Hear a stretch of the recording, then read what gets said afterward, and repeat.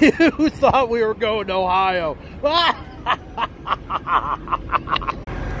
we were just a little bit too far back. So look, remember I said we were 30, so we were only 25. So now we're 34. Oh my goodness. Oh my goodness. So look, this is what we were, right? And this is what we are now. And don't you worry about those 700 pounds back there. I moved two of those pieces of wood back there, so I'm driving around scaling again. The uh, we're good. Trucker two chains, no honk guarantee on that, buddy. My pilot car is goofing off. It's hard to find good help these days. I'm kidding, I'm kidding, I'm kidding. Let me get back to you.